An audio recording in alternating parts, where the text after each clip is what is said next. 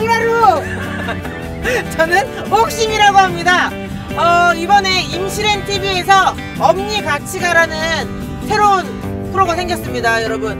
저희 엄니와 제가 어, 임실 구석구석 좋은 곳 많이 보여드리고요. 그리고 엄니와 저의 그런 케미도 기대해 주셔가지고 많은 사랑 주시면 감사하겠습니다. 많이 보고 꼭꼭 잘 눌러 그럼요. 첫 방송이 언제죠?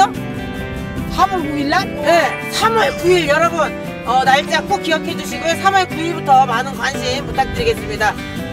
엄니 어, 또 한마디 해주세요.